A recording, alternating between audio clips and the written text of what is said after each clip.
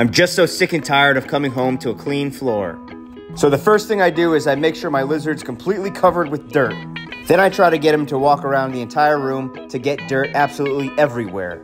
And once he does that, I reward him with a nice treat. Who's a good boy? Then I deep clean the entire floor, so when I get home from work, it's squeaky clean.